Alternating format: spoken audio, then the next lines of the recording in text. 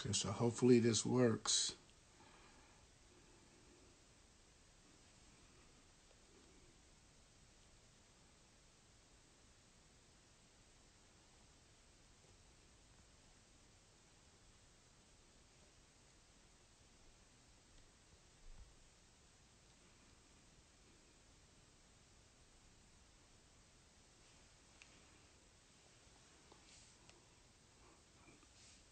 Coach, I think we finally got you on, Coach. I think we're ready. So thank you to everybody who's been patient with me. Um, welcome to the Positive Podcast. And I am your host, Terrell Dozier. And our guest tonight finally is Dallas Mavericks assistant coach, Jenny Boucek.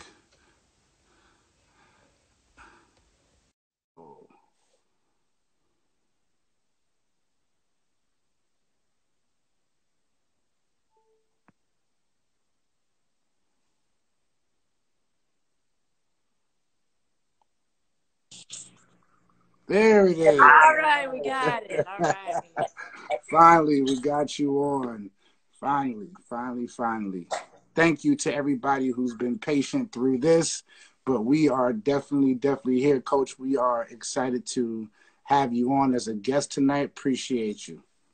Oh, I'm so happy to be on. I love what you're doing. I love what you're about. Thank you. Thank you. So let's jump right into it. We've waited long enough. Um, talk to us about growing up in Nashville, Tennessee, who put the ball in your hands and how you fell in love with the game. Yeah, you know, I, I come from a family of academic people, and sports were just for fun. But I grew, I came out of the womb just loving sports of all mm-hmm. types. So you give me a ball, you give me some competition, you give me some guys, and we were going to play all day long. Played everything, um, and you know, all through high school, I even played three three four sports but basketball was my my favorite. So pickup basketball was it. If i could have played pickup basketball the rest of my life mm-hmm. didn't need a crowd didn't need a dollar if i could have lived off of that i think that would be my dream life. I would have showed up on any playground anywhere in the united states any gym. Um, that's still like my heart you know? So when i was making a college choice um, I was blessed to have opportunity to play different sports. Basketball was my best sport, but it was my favorite. Right. Um, but because it was my favorite, I chose to play basketball and was real fortunate to go to University of Virginia. Absolutely. So now you go from Tennessee down to Charlottesville, Virginia, and you played four years there. Talk about your four years there. Like you had a great career there. Talk about Talk about what it was like going from high school basketball playing college basketball at such a high level. Yeah, you know, it's a big decision for a young person to make is uh, which college you're going to attend if you if you have options and you're lucky enough to to have options. Um, I chose Virginia because it was a great academic school. Um, and I didn't even know how good they were at basketball when I had looked into which college I really wanted to go to. Virginia was number one on my list. Then when I found out they were at the time number one in the nation in basketball. It was like best of both worlds. Um, I talked to a lot of coaches, a lot of schools. A lot of coaches promised me starting jobs freshman year, this, that, and the other. I didn't want. I didn't want to hear that. I was a little bit different in that way because I felt like if you were telling me that, you either are not telling me the truth because you don't really know how I'm going to translate. It's not really fair to the players that are already there, or you're terrible. So I wanted to go to a school, and Debbie Ryan at University of Virginia was like one of the only coaches that said, "I don't know if you're ever going to play here." Right. and I was like, "Okay, y'all must be good. You're honest. I'm in." So right. that's how I chose University of Virginia. Absolutely. So you had a great career, like I said there, four years starting. You wind up starting there, a thousand points, academic All American, Defensive Player of the Year, and the team went a couple, you know, went to a couple of elite eights. So once basketball was over at the University of Virginia, at this time now, I think the WNBA is around, you know, which is great. You know what I mean? And I think you tried out for the Cleveland Rockers. It was. Yeah, interestingly enough, I graduated. I had a five-year double major, so my playing career ended in '96, and there was no WNBA. Okay. So my last game in college, I thought was was it, and mm-hmm. I, it was devastating. Which I know any high level athlete, anybody who loves the game, can remember mm-hmm. the last game and goes through that grieving process, whether you're pro, college, high school, uh, when your career ends, it's painful. It's right. become such a big part of you. Mm-hmm. So I had like a six, eight month depression uh, mm-hmm. after that because like there was no pro league yet. Right. Um, and so I mourned it, you know, and I grieved it and it was rough. And uh, thank God I had a good support system. And I was just finishing my degree, planning on going to med school, which was the original plan. And then in the midst of that fifth year, that's when the NBA said and showed like, hey, we're getting ready to start a women's league and this is for real. Right. This is happening. Mm-hmm. Um, and so I felt like, you know, I'm not going to live live it down if I don't at least try to play in this league that the NBA is starting. Right. And so I tried out for Houston. I tried out for Cleveland. Um, and it was like a rat race. I mean, it was like 400 people at the tryout coming right. from everywhere. Then the first cut goes down to 250, then it goes down to 200, 150, 100. You just keep right. playing. Right. And I was so happy to be playing again. I hadn't touched the ball in eight months. Mm-hmm. I was in heaven just playing basketball again. I right. didn't care if I made the team or not. I was just happy to be hooping, you know? Right. Um, and I happened to make the team in Cleveland, and uh, it was a huge blessing um, once in a lifetime opportunity, not just to play in the WNBA, but to mm-hmm. be a part of that inaugural season where we really felt all 80 of us, there were 80 players mm-hmm. at that time, um, that we were a part of something and we had a responsibility to try to get this league off the ground. And, and it was part of something that, that meant something and was going to be important for our world. Um, mm-hmm. there was great purpose and potential to this league for our culture for women um, and for young men to just have a different perception of women that they'd ever Absolutely. had. You know, going Absolutely. to the games that first year, I mean, grown women would be in tears. you know, little girls looking up, like almost confused, like right.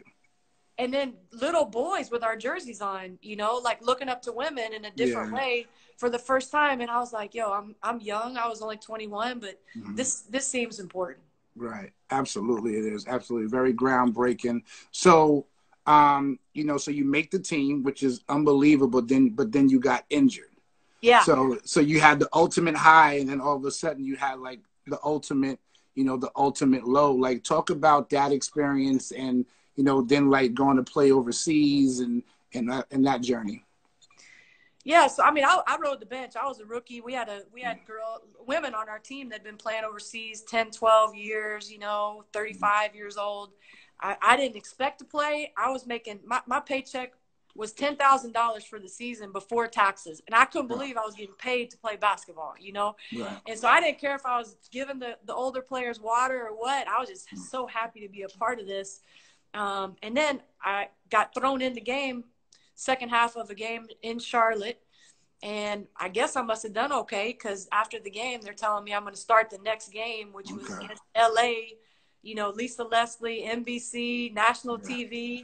But I had jacked my back up in that in that game, the, that one game, and I knew it was pretty bad. But I couldn't I could not sit out as a rookie my first game, getting a chance to start. You know, right. so I played through that. By the end of the game, I I ended up in the emergency room, and uh, and that was pretty much the end. It was a career-ending injury.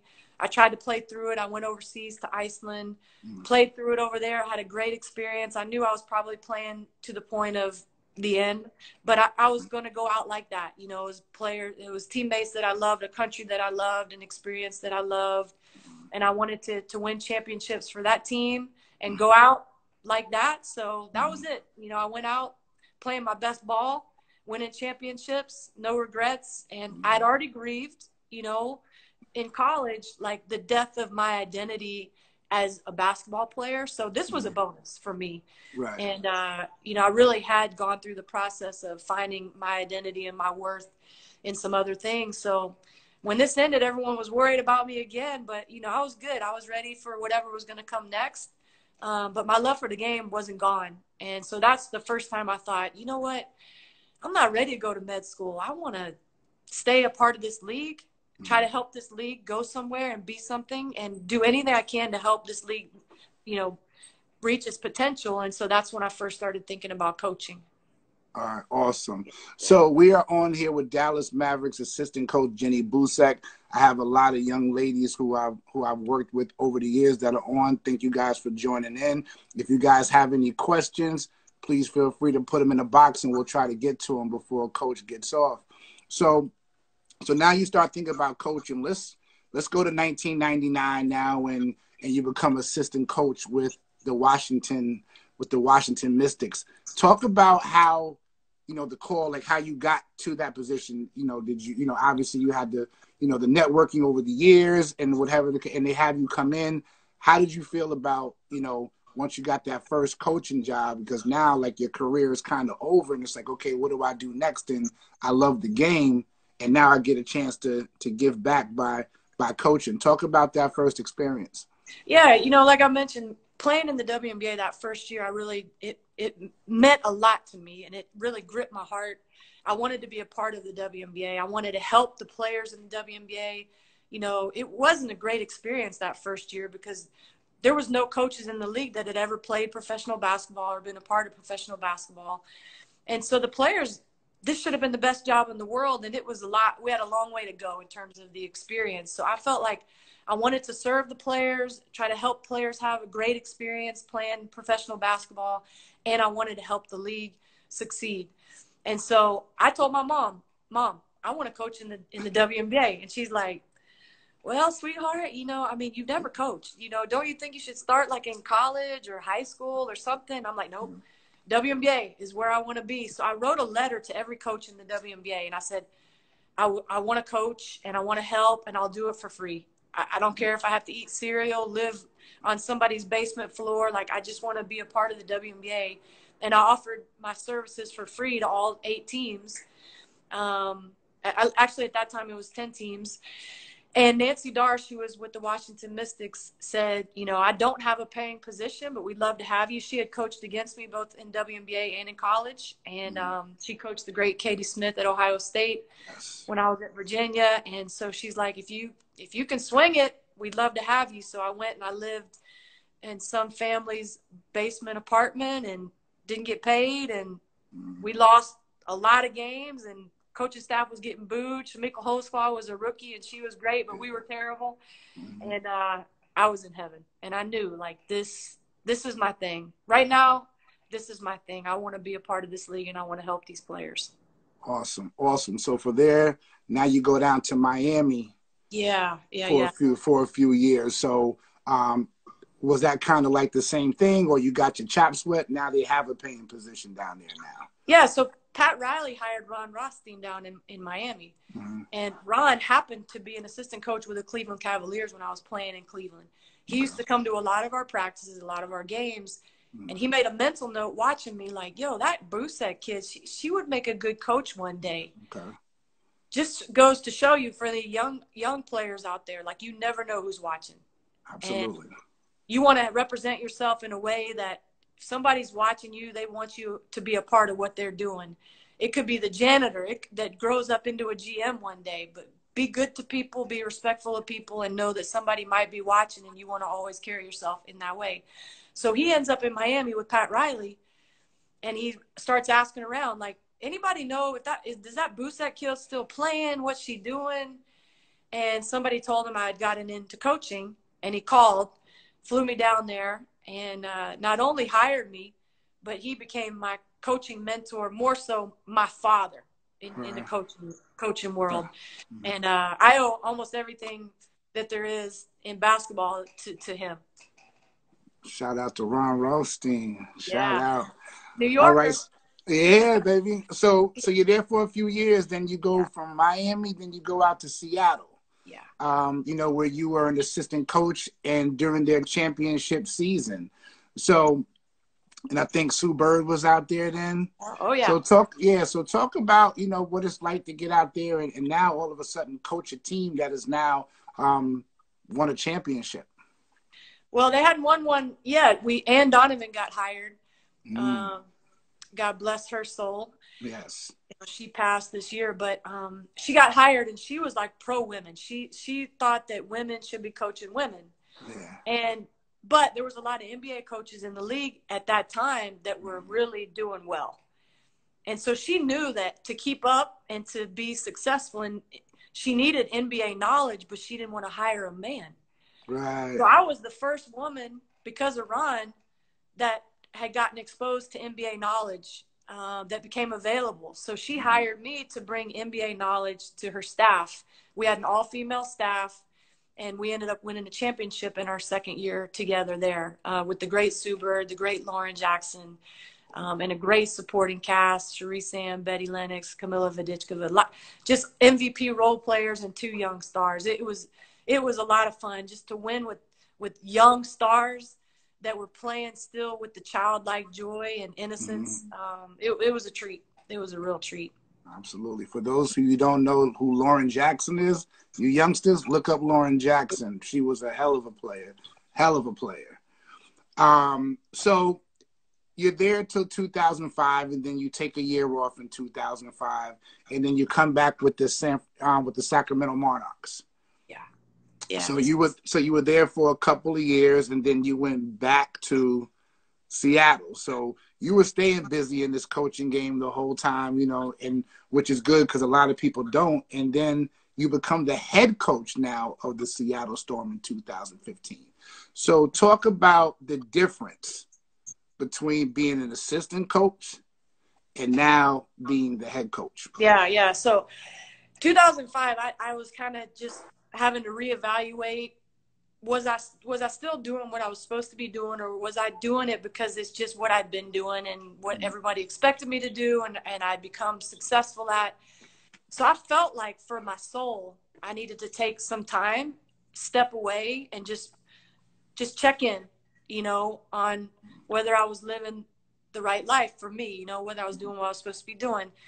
And so I took time off and really just got away from it and opened myself up to getting away from it, doing something else, going back to med school, whatever. And I was out of it, you know, and I really got away from it. I didn't watch games. I kept in touch with the players, tried to keep encouraging them, but I really was just not going to coach anymore and, and open myself up to other things.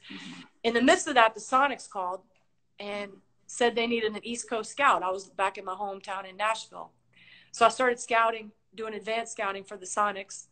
Um, got me back in the in the game a little bit, mm-hmm. woke my appetite up a little bit, and then out of the blue, like seven o'clock in the morning, the GM of the Sacramento Monarchs calls and says, "Hey, I'm retiring from coaching, and I want you to be the next head coach of the Sacramento Monarchs. I don't want to interview anybody else." Right. So get on a plane. You're going to meet with the Maloofs and me in Las Vegas at the Palms Hotel and let's get this done. And I was like, I was 31, you know, very young, had no aspirations of being a head coach. But, you know, sometimes if you just are trying to stay true to yourself, follow your heart, be honest with yourself, um, make the most of every moment, then life's path just leads you where you're supposed to be. So I really didn't want to do this, but I felt like it was what I was supposed to be doing. And so I was very scared to accept this job as young as I was. It was a veteran team. Half the team was older than me.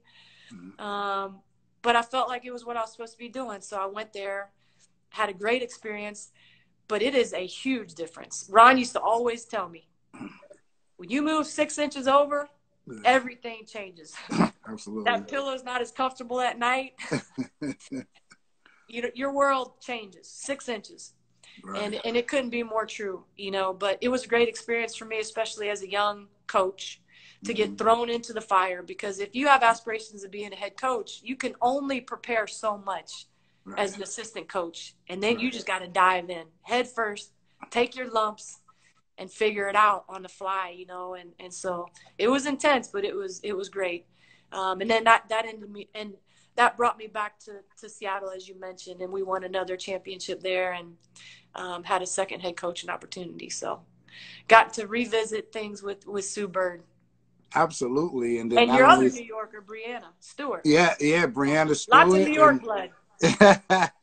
and and Jewell Loyd was there Jewell too. So yep. so I had um you know I had my friend Steve Silas on here and you know while you know people look at head coaching jobs, whether it be in the NBA or the WNBA, like it's great. You know I mean? It's such a, a glamorous position, but how excited you was at the at the Palm Hotel and being offering offered this head coaching position.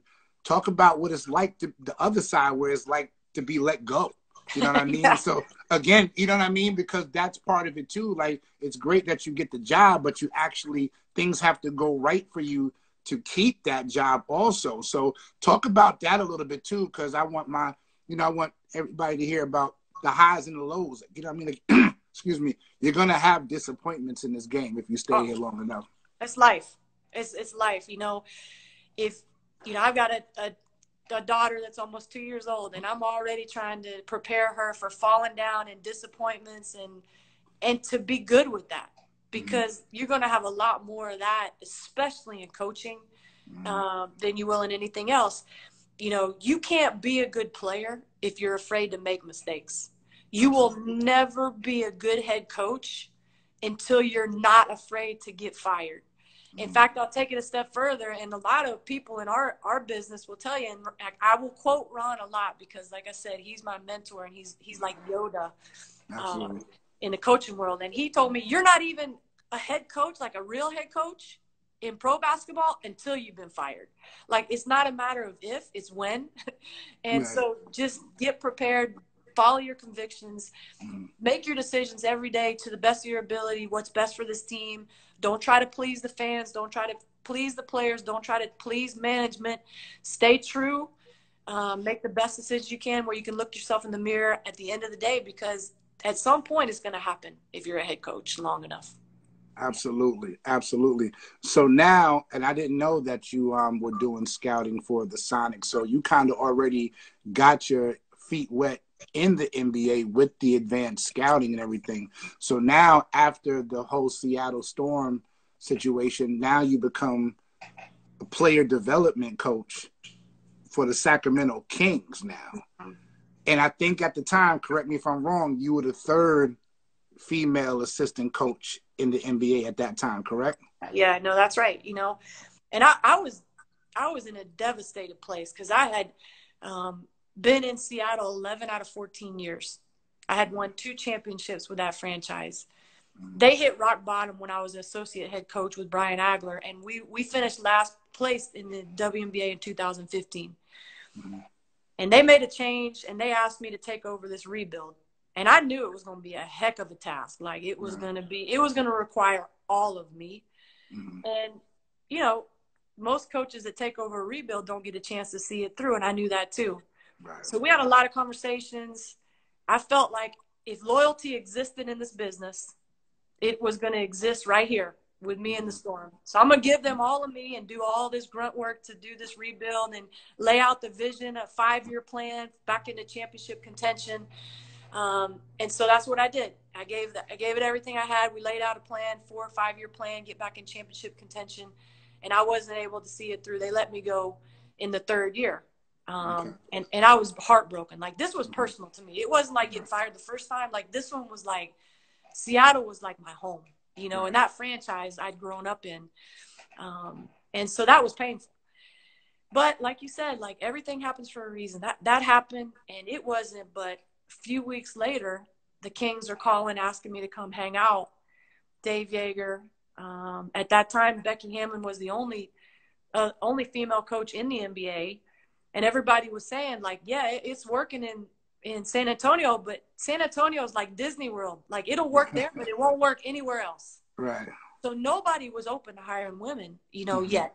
Mm-hmm. So when Dave called, Dave Joerger's he is a good friend. He's a good man. He's an unbelievable coach, and the opportunity to just hang out with those guys, it wasn't with a job, was like healing to me. Mm-hmm. So I went down there to hang out with that coaching staff. They took me in we just start talking hoops. They throw me on the court with the guys. I'm just having fun being back around the game that I love again. It's healing my heart and uh, turned into an opportunity. And uh, what a blessing that that was, you know, just to be with that staff, that team, young team, great guys, and to be in the NBA. You know, something I wasn't trying to do or um, wasn't applying for jobs or anything, but mm-hmm. um, was was able to have an opportunity to get into. Absolutely. So obviously, you've worked with some great professional women's players. Um, yeah. Talk about the difference, though. Like now, like you're you're you're working with Demarcus Cousins and like you know what I mean, and all these guys who are like you know um, big time players. Like talk about the difference, or were your philosophies the same, whether it was Sue Bird or whether it was you know Boogie Cousins? I tell people all the time, there are a lot more similarities than there are differences. Mm-hmm. Coaching, you're coaching the best athletes in the world in the WNBA and in the NBA. These are the top-notch competitors. These are players that standards of excellence, work ethic, intelligence, emotional IQ. It's best in the world. So they have way more in common than they have differences. There were some subtle differences, but my coaching style, because I started coaching so young, I mean, and for the first 10 years at least of my coaching career, most of the players I was coaching were older than me. Um, my leadership style has always been serve, you know, and try to learn and be a good resource so that I can serve and work together with these geniuses and try to help unleash the genius. Right. My leadership style has never been, even as a head coach, dictatorship because I say so. And so that didn't change coaching men, coaching women, trying to figure out how I could help the guys, what they needed, um, and what I had, you know, to be of service, of service to them and to the staff has always has always been my heart. Um, there's not a lot of a lot of difference, to be honest. And because of the WNBA, um, and it's been around so long, these young men, they grew up best friends with female players, going to all the WNBA games. Mm-hmm. You know, a lot of them were raised by strong females and are very comfortable being bossed around by by women. Okay. So it was it was a much smoother transition than I think a lot of people would think. Right. Okay. So now talk about so you were in Sacramento and then the next year you ended up in Dallas. So what happened between that time that you made the jump from Sacramento to Dallas?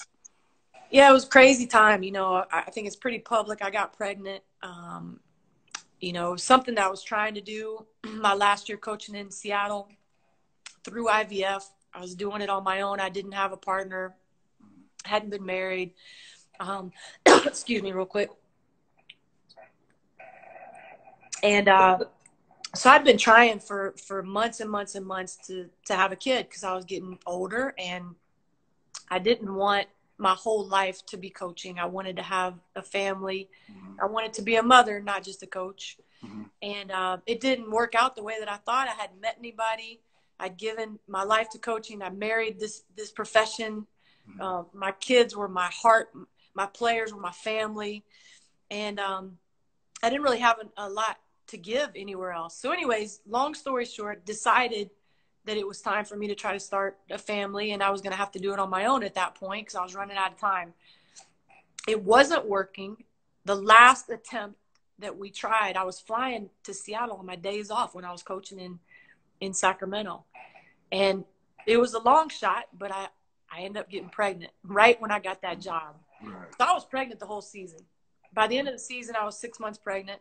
Um, I hadn't told anybody but but Coach Joerger, and uh, and so at the end of the season, I'm pregnant, and I thought I'm done coaching in, the NBA for sure. Like maybe coaching period, but I'm done coaching. There's no way I can coach in the NBA with a baby, single mom, you know. So I, I was really resigned to that.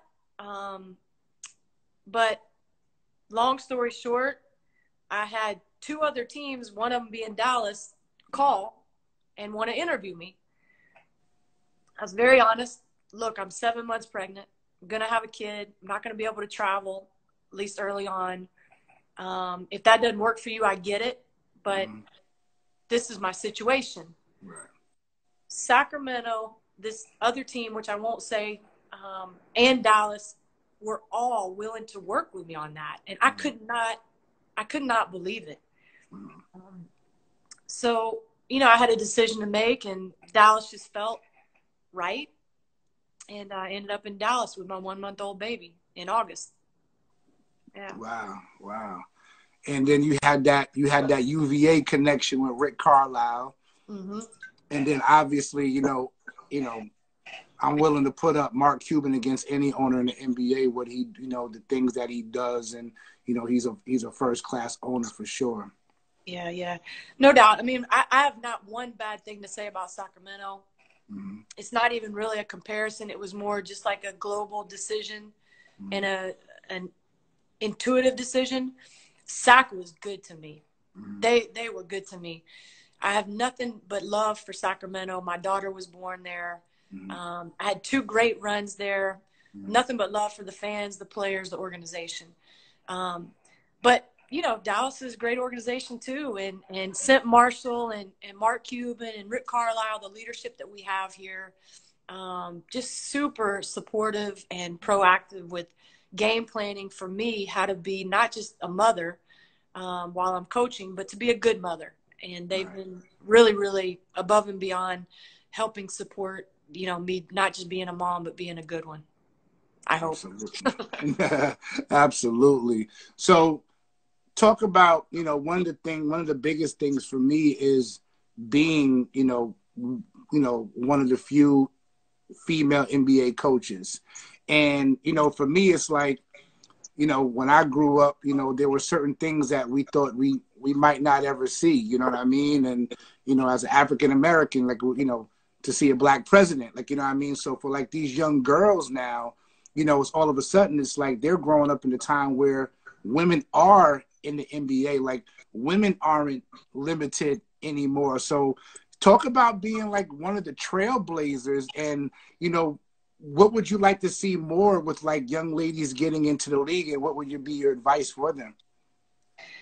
Yeah, you know, I never had this sounds crazy and I know this is against the norm, but I never had long-term goals. Mm-hmm. Um, I think they can get you in trouble a little bit because you know you're you're focused more on the destination as opposed to the journey. And I've always been under the belief that um, you know if you really stay true to who you are, really work hard at figuring out who you are, what your gifts are, your talents, what you're passionate about, figuring out your purpose, um, which is a tough exercise, but mm-hmm. that's where I would start and stay.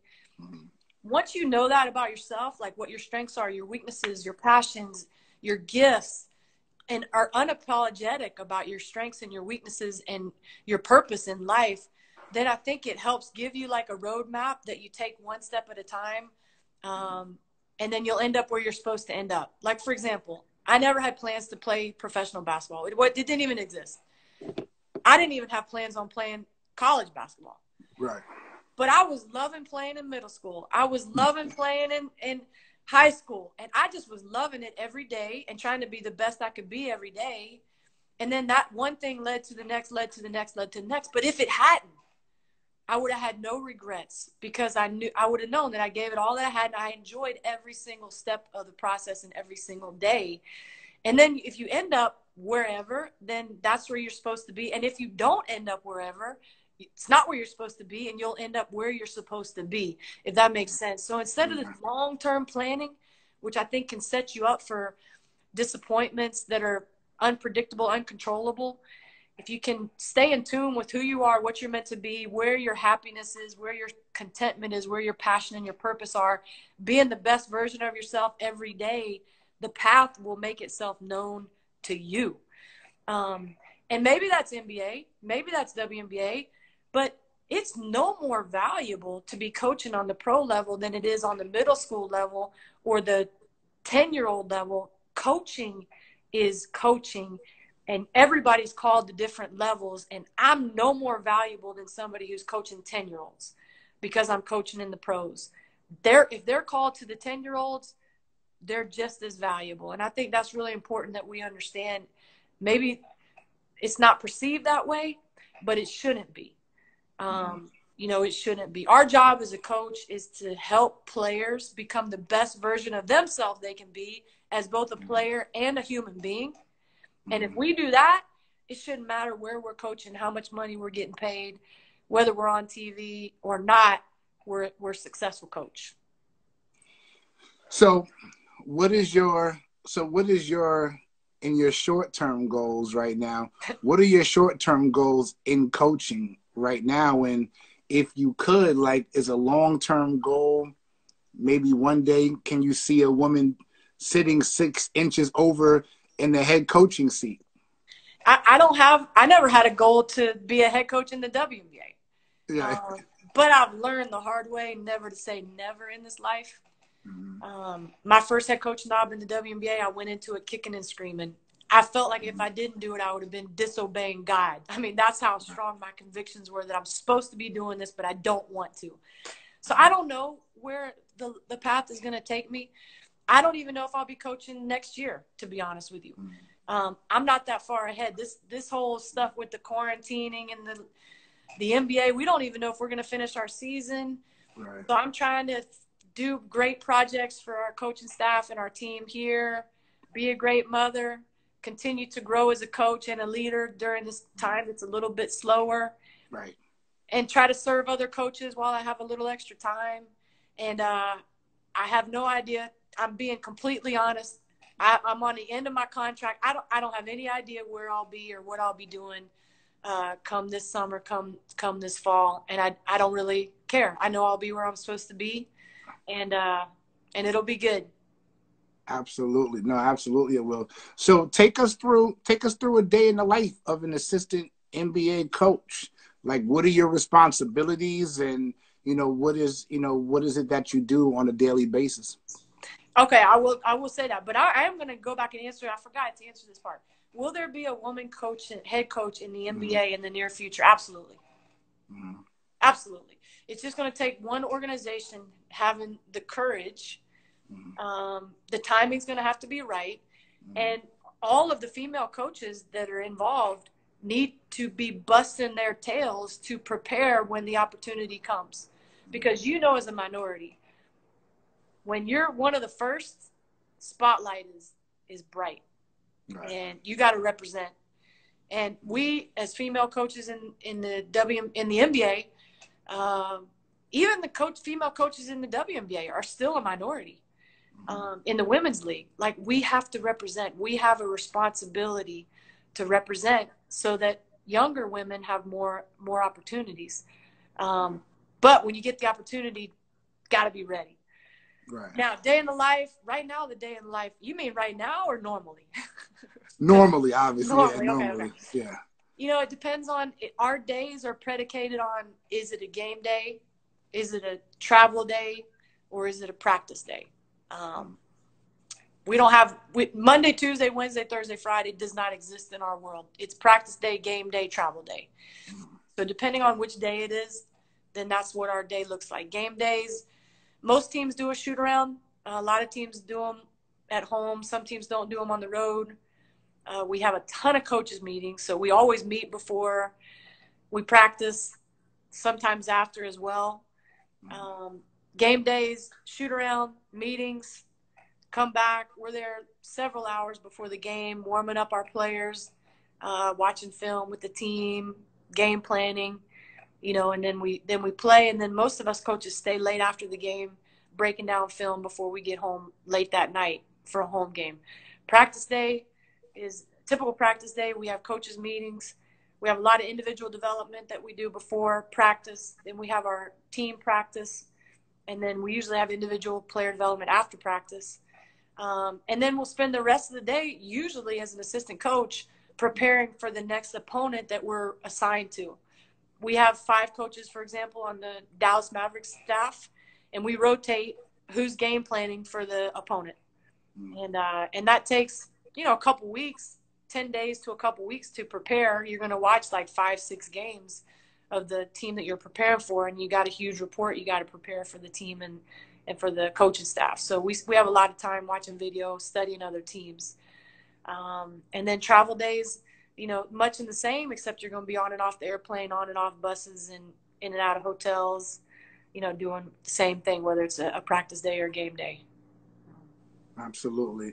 And so and we talked you know you talked about it um, a little bit earlier now, not only do you have those responsibilities, but how do you balance being a single mom and an NBA and, and an NBA coach? Good question. it's a day to day adventure. Um, you know, trying to juggle all of this.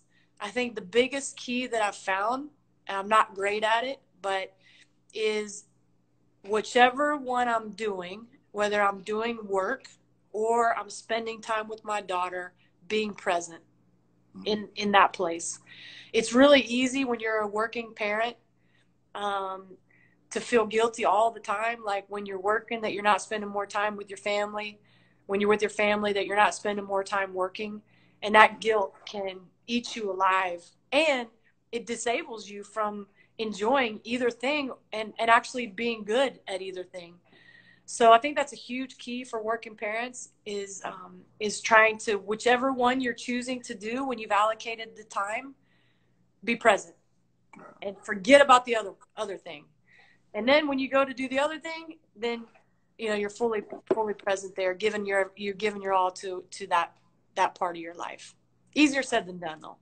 Nah, it sounds it sounds like it. So I have um, a question from uh, one of my people. So you mentioned Ron Rothstein as your father in the game. Yeah. Were there other? Who are your other mentors in this game? Yeah. So I grew up in Tennessee, and Pat Summitt was uh, was just. I mean, she's one of my my idols in that, you know, she was one of the first women, if not the first, that was respected by mainstream you know, white men looked mm-hmm. up to Pat Summitt, and she had that perfect mix of power uh, and grace and class and tenderheartedness towards people. And you hear stories all the time about, you see her on the court, and you know how fierce she is. You know what a great competitor she is. But you hear stories all the time about the kindness that she showed to janitors and, and waitresses and, and people that could do nothing for her. And you know but the stories are like legendary. She was just she never changed in her kindness and her love uh, and her genuineness for people. Um, so i've always admired her a lot just especially growing up in tennessee and really hearing the personal stories of, of how she treated people and uh, mm-hmm. and was able to to be the balance of both. Um, you know debbie ryan my college coach huge influence great friend um, never met anybody, anybody more honest, and that's hard to to sustain in our business. Um, you know that integrity. Um, my high school coach was a star. I mean, no one will ever know who he is, but he probably shaped me as much as anybody other than my parents. Um, I could tell stories about him that would entertain you guys forever. But he was a Pat Summitt prodigy. So he went to University of Tennessee and watched all her practices and stuff. So he wouldn't even probably be able to coach nowadays the way that he coached because it would be like lawsuits everywhere. But he made he made us tough. And he made us about team and he made us about the right stuff. And like I said, I could tell you stories for days, but he he was a man of principle and he instilled a lot of those principles in me. Just to give you an example, um, you know, I was I led the state in scoring. I don't know, as a sophomore, I think but I didn't know it because we weren't allowed to see a stat sheet. If, if we saw a stat sheet or if we looked at a newspaper, we were suspended. So if he found out we saw a stat sheet, we, we looked at a newspaper, we were suspended. So I never even knew I led the state in scoring. I found out years later. But he was worried, you know, because you have a player that's, I was in a small academic school. Other players start standing around watching when you have a player that's dominant. So he told me as a sophomore, the first half of every game, you cannot shoot unless it's an offensive rebound or a steal. The first half of the game, you got to involve your teammates, empower them, figure out how to get them going. Second half, you can do whatever you want. So I was young, you know, I didn't question the coach, um, but that was a principle that I that I never forgot. Like, it's about empowering others. It's not about getting yours, and you're going to need them. you're going to need them no matter how good you are. Right. And so that's one example of a million but the guy was he was brilliant, and uh, so he's another one that I'm very very thankful for. Awesome. Yeah. Awesome. And so one of my questions is, you know, now that you know, you know that there are female coaches in the NBA. Um, so like you know, like in the off season, like guys are working out with all types of trainers around the country. You have your, you know, your Drew Hanlens and you know of the world. When do you think that we'll see like that Drew Hanlen on the female side that, you know, so do like like who helps Diana Taurasi in the summertime? Like where does Sue Bird go to get better? You know, because you you you never see what what the females are doing in the you know in the summertime with trainers. You always see all the NBA players. So mm-hmm. like that's where I see it going now. Like you know I mean? Like so what do you think about that? Like female, you know, when will you see like WNBA players going to the to the female trainers as yeah. opposed to uh, maybe a male trainer? Yeah, I think there's an opportunity there. I think um, you know a lot of our players do play overseas, so there's not as mm. much room for it because they're playing right. all year long. Right. Um, you know, I know the the the lady who trains Sue Bird, Breanna Stewart, a lot of the Olympians. Um, not necessarily the basketball part of it, but to get them being the tip top athletes that they are and their nutrition mm-hmm. and their strength training and their their um, you know agility and whatever. She's like the best sports science person i've ever seen male or female. Um, mm-hmm. her name is susan borchardt. She played at stanford way back when. Um, she is unbelievable. Her i think her instagram is the athlete blueprint but she's unbelievable. Mm-hmm. um, so she's a female that's that's paving the way. Um, but there's not a lot of on court female right. player development coaches. Most of our women go to NBA guys. Mm-hmm. Um, I used to work with Sue a lot in the off season, but that's just because we went back so long and so far, and I was very mm-hmm. familiar with her game and what she needed to to work on to to be her best. Um, there's not there's not a lot out there. That's a great opportunity if there's some young females out there that want to get a niche to get up under mm-hmm. some of these these established guys offer your services you almost always have to offer as an intern and volunteer. Mm-hmm. learn the tricks of the trade you know and and make yourself great at it because there's opportunity there. Yeah that's that's that's definitely the way that that's definitely the way that i see it. So before we get out of here i got some um i got some quick hitters. Yeah yeah. Uh for you to um for you to answer. So you played at virginia for four years. Who was the toughest girl that you had to play against at Virginia? You know, Katie Smith, I'd say was was one of the toughest, but um, had some fun battles with Marion Jones, if you remember her from the Olympics. Mm-hmm. Trying to trying to keep up with her. Mm-hmm. Um, you know, we had they were a, a, big rival of ours. We played Tennessee a couple times. Chamique Holdsclaw was there. Mm-hmm. She was obviously tough. Mm-hmm. Um, but I'd say, you know, Katie was probably the, the toughest matchup that I had. Mm-hmm. Yeah. Okay. Um, in your coaching, in your head coaching in the WNBA. Yeah. Who was the who was the one the one woman that you just didn't have any answers for when you coached? Like you tried every adjustment, everything, and you just couldn't contain it. I mean, Cynthia Cooper to me, like no one will even hardly remember her, but she was just unstoppable. You know, obviously Lisa Leslie was somebody that was really, really, really a challenge. Um, let's see more of the current day. I mean, Diana was a load. Taurasi, mm-hmm. she was a load. But I, but I tell people all the time, the most dominant female player I ever saw, I got to see every day, and that's Lauren Jackson. Um, and like you said, like people won't even remember her because she got injured young and she's Australian. But um, Sue, Sue Bird and I sit around sometimes and just tell stories reminiscent of some of the stuff she did because it just make you shake your head.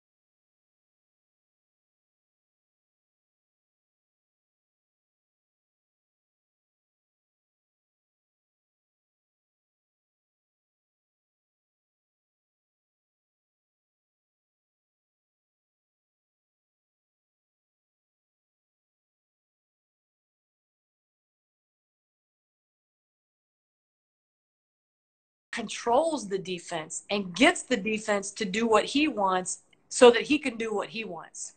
Right. I mean, I've never seen anything like it. Like how mm-hmm. how he can control the defense and the game and basically have the game form and shape and do exactly what he wants.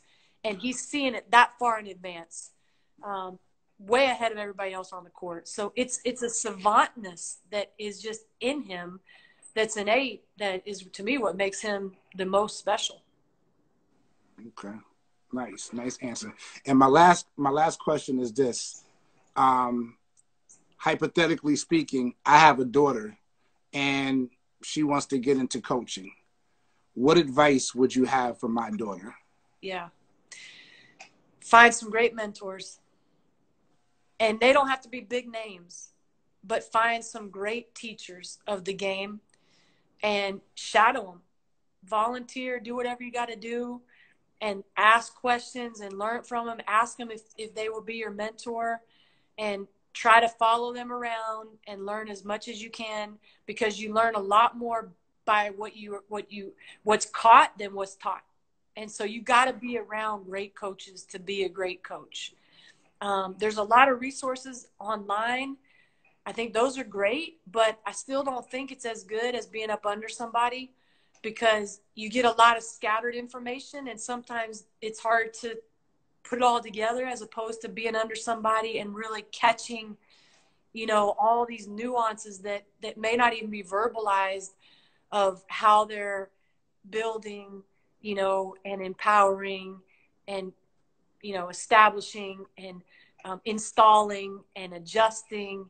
You know, you're watching it from start to finish as opposed right. to piecemeal. So I, I, can't think of anything more important than, than mentorship.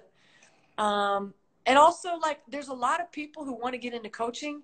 I always say, just check yourself too that you're doing it for the right reasons it's not that it's it's really like what you love because it's a grind. Mm-hmm. People players don't realize how how many hours go into coaching. Most players get into coaching hate it.